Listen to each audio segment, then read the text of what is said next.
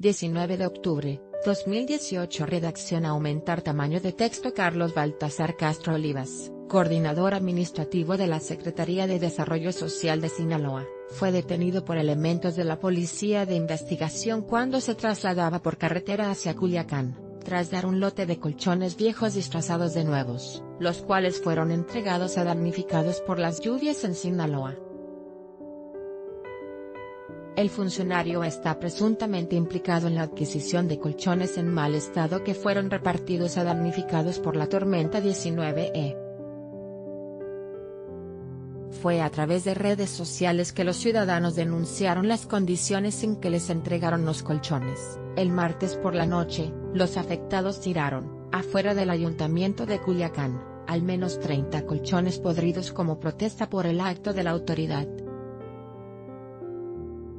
De acuerdo con información difundida por la FGE, Carlos Castro fue puesto a disposición de un juzgado de control y enjuiciamiento penal de la región centro. La Secretaría de Desarrollo Social de Sinaloa interpuso la denuncia en su contra, según informó la Fiscalía.